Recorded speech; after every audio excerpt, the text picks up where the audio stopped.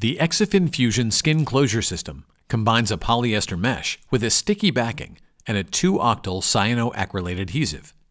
Each system ranges in size from 6 centimeters up to 60 centimeters in length.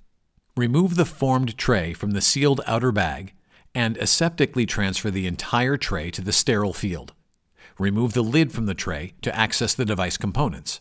To begin, remove the mesh patch from the carrier and remove the center section of the release paper backing from the mesh. Hold the mesh by the corners, making sure that the sticky backing is facing downward and can be adhered to the patient's skin. Position the mesh so half of the mesh is on either side of the center line of the incision. A minimum of 1 centimeter of mesh should extend beyond both ends of the incision. Adhere the mesh to the patient, taking care to rub out any air pockets or creases in the mesh. To remove, pull each of the outer wings down and away from the patient. Should a section of mesh need to be removed and repositioned, that's okay. Once adhered, pull away the outer two pieces of release paper and smooth the mesh for good skin contact. Once the mesh is adhered to the patient, the user should now activate the adhesive in three easy steps.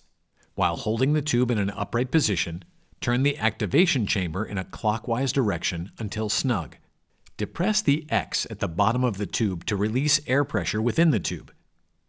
Now we need to prime the device. To do this, turn the tube downward and gently squeeze three drops of adhesive onto the drape or into the trash, but not on the patient. This process will ensure that the adhesive will cure quickly once it's applied to the mesh. Not following this process may cause the mesh to inadvertently release from the patient's skin and not stay in place for the desired period of time. After priming, begin adhesive application at the highest point of the incision. It's important to always keep the applicator tip facing downward so that the adhesive continues to flow. Squeeze the tube with moderate pressure so that the adhesive flows at a steady rate, but not so hard that it runs to unintended areas off of the mesh. This pressure is best represented by the pressure used to prime the device.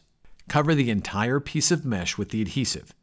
Should you run out, simply open another tube using the same steps and complete the coverage of the mesh. Adding a line of adhesive around the edge of the mesh will also help ensure contact to the skin. Unlike the competition, the Exofin Fusion adhesive will polymerize on skin. To extend the length of the mesh by adding a second strip, take care to overlay both ends of the mesh by 2 centimeters so as to form a straight line where the two strips are joined together. Once adhesive application is complete, Allow the area to remain stable and do not move for 60 seconds. This allows the adhesive and mesh to fully bond to the skin. Once fully cured, a secondary bandage may be applied over the mesh as long as it does not contain a sticky backing, which will result in pulling off the mesh when the secondary bandage is removed. Exofin Fusion will remain on skin from 14 to 21 days, but is dependent upon patient care of the incision site. Light showering is allowed, but prolonged exposure to water will result in the early release of the polymerized mesh.